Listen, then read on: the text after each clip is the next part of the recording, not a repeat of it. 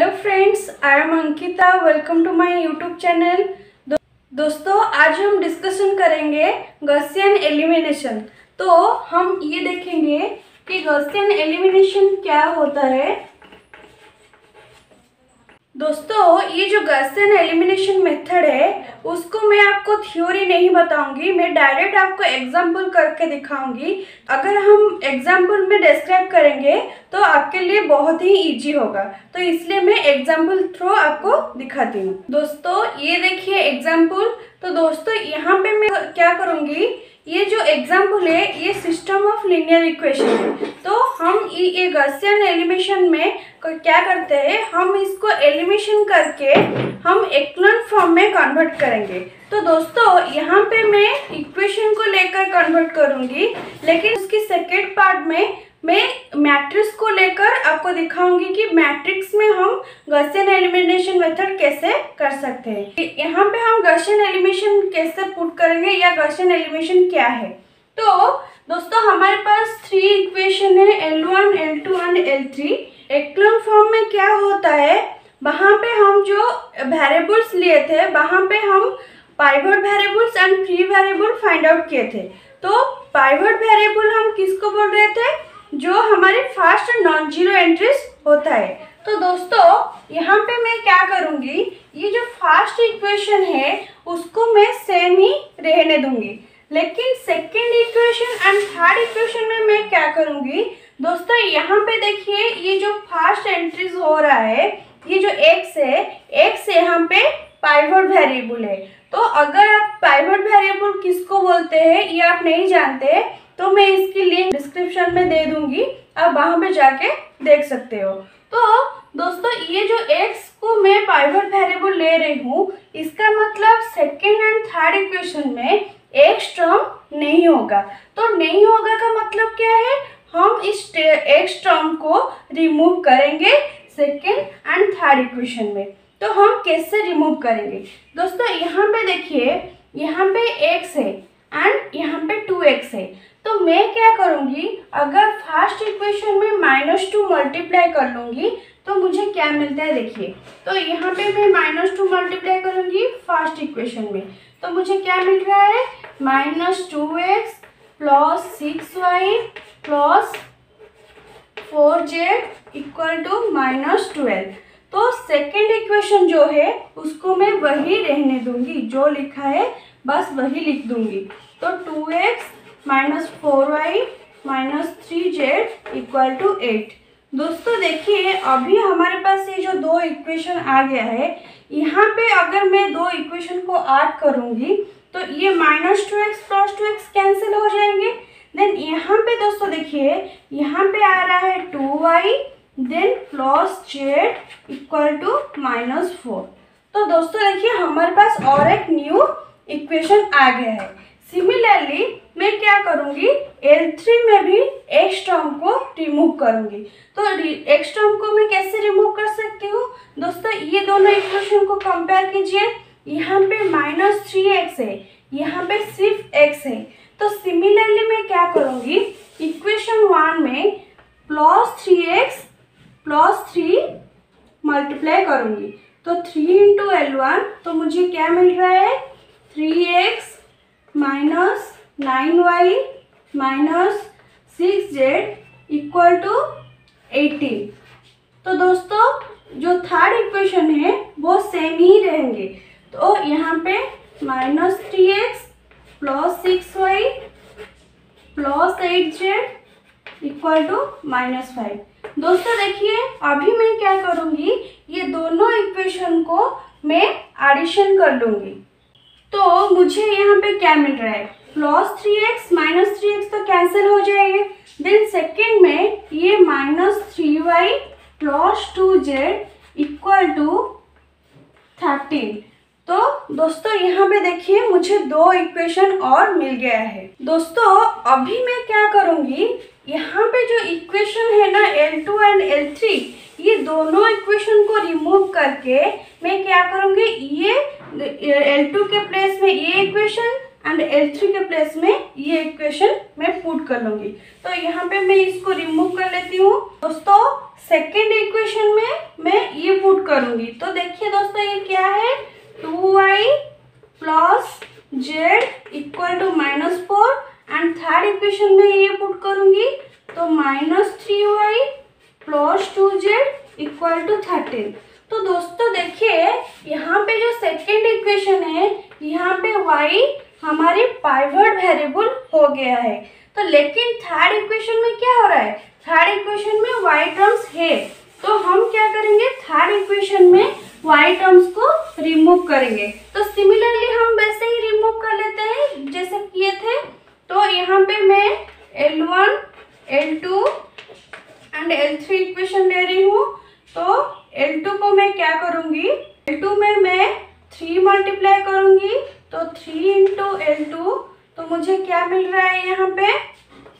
Six y plus three z equal to minus twelve फिर मैं three equation में two multiply करूँगी। तो two into L three equal to minus six y plus four z equal to twenty six तो दोस्तों देखिए यहाँ पे दोनों इक्वेशन आ गया है। इस दोनों इक्वेशन को मैं ऐड करूँगी तो यहाँ पे plus x y minus x y cancel हो जाएँगे। देन यहाँ पे seven z equal to fourteen तो यहाँ पे मुझे seven z equal to fourteen मिल रहा है। दोस्तों, अभी हम क्या करेंगे? यहाँ पे जो हम थर्ड इक्वेशन पाए ना उस थर्ड इक्वेशन को हम यहाँ पे रिप्लेस कर लेंगे। तो दोस्तों देखिए, मैं फिर से यहाँ पे लिख रही हूँ, x minus three y minus two z equal to six then two y plus z equal to minus four then seven z equal to fourteen तो दोस्तों, यहाँ पे इस इक्वेशन को, इस सिस्टम ऑफ़ लीनियर इक्वेशन को ध्यान से देखिए। दोस्तों, ये x जो है, ये फ़र्स्ट पाइवट वेरिएबल है देन ये सेकेंड पाइवट वेरिएबल है एंड ये थर्ड पाइवट वेरिएबल है। तो यहाँ पे आप ध्यान से देखिए, यहाँ पे जो x है, यहाँ पे x नहीं है एंड यहाँ पे भी नहीं है एंड यहाँ पे जो पाइवट वेरिएबल y है थर्ड इक्वेशन में भी नहीं है। तो इसका मतलब क्या हो रहा है? अगर सिस्टम ऑफ़ लीनियर इक्वेशन इस टाइप ऑफ़ लीनियर इक्वेशन के साथ ये इसको हम एक्लन फॉर्म भी बोल सकते हैं। तो अगर एक system of linear equation echelon form में रहता है एंड उसको हम कैसे कन्वर्ट किए? अगर इस टाइप हम कन्वर्ट करके एक्लन फॉर्म में कन्वर्ट कर सकते हैं तो इसको हम गसियन एलिमिनेशन बोलेंगे। दोस्तों, यहाँ पे गसियन एलिमिनेशन क्यों पढ़ते हैं? अगर हम ऐसे गशन एलिमिनेशन यूज़ करके हम ऐसे इक्वेशन में कन्वर्ट कर पाए तो हमारी जो solution of system of linear equation है, वो इजीली हम फाइंड आउट कर सकते हैं। तो इसको हम कैसे फाइंड आउट करते हैं, आप देखिए। तो यहाँ पे मैं, यहाँ पे इक्वेशन वन यहाँ पे इक्वेशन टू एंड इसको मैं इक्वेशन थ्री दे देती हूँ। Then from equation three equation three में मैं, मुझे क्या मिल रहा है? Seven z equal to fourteen. तो दोस्तों, इसको मैं लिख सकती हूँ z equal to fourteen by seven and equal to two. तो देखिए दोस्तों, कितना इजीली हम जेड का वैल्यू पा गए हैं। सिमिलरली अगर यहाँ पे मैं क्या करूँगी, दोस्तों, यहाँ पे प्रोसेस आप ध्यान रखिए, क्योंकि ये जो प्रोसेस मैं कर रही हूँ, यहाँ पे ये प्रोसेस ही बहुत ही इम्पोर्टेंट है। एंड आपको सारे प्रॉब्लम्स आपको इस तरह सॉल्व करना है। तो मैं क्या करूँगी, इस जो वैल्यू है putting the value of putting the value of z in equation two तो दोस्तों, मैं जब एलिमेंट कर रही थी, मैं ऊपर से लेकर नीचे एलिमेंट कर रही थी। मतलब पहले फ़र्स्ट इक्वेशन को देखी देन सेकेंड इक्वेशन को देख रही थी देन फिर थर्ड इक्वेशन को एलिमेशन की। तो यहाँ पे हम जब वैल्यू पुट करेंगे, हम नीचे से ऊपर पुट करके जाएँगे। तो पहले हम नीचे क्या पाए? जेड का वैल्यू पा गए अभी उस जेड का वैल्यू को मैं सेकेंड इक्वेशन में पुट करूँगी। तो वी हैव में, मुझे क्या मिल रहा है सेकेंड इक्वेशन में? Two y plus two equal to minus four then two y equal to minus six and y equal to minus three दोस्तों, यहाँ पे देखिए, मुझे y एंड z का वैल्यू मिल गया है। तो अभी मैं क्या करूँगी? आप बताइए। तो अभी मैं क्या करूँगी?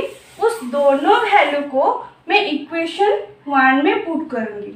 तो मैं डायरेक्ट लिखती हूँ x minus three into minus three minus two into two equal to six तो मुझे यहाँ पे देखिए दोस्तों क्या मिल रहा है?